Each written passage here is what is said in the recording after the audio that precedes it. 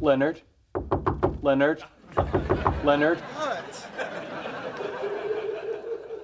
I need to speak to you.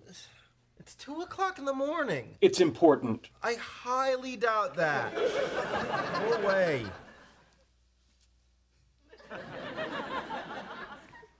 Are you still out there? Yes. What? You're right, it can wait until morning. What, what, what, what, what? Never mind. I clearly woke you up in the middle of a REM cycle. You're in no state of mind to talk. Sheldon, what is it? I'm uncomfortable having been included in your lie to Penny. What was I supposed to say? You could have told her the truth. That would have hurt her feelings. Is that a relevant factor? Yes. Then I suppose you could have agreed to go. And what would I have said afterwards?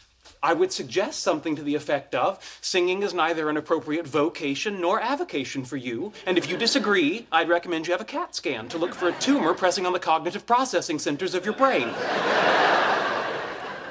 I couldn't say that. I would have to say, You were terrific, and I can't wait to hear you sing again. Why? It's the social protocol. It's what you do when you have a friend who's proud of something they really suck at. I was not aware of that. Well, now you are. Oh, all right. Leonard, Yes. when we played chess earlier, you were terrific, and I can't wait to play you again. Good night.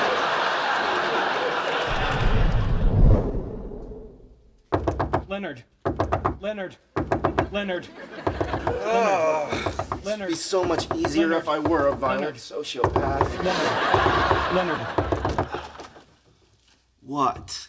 I was analyzing our lie, and I believe we're in danger of Penny seeing through the ruse. How? Simple.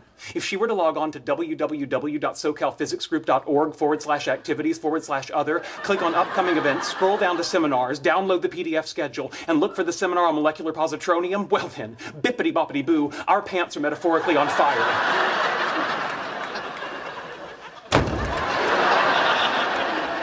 well, sir, my trousers will not be igniting today.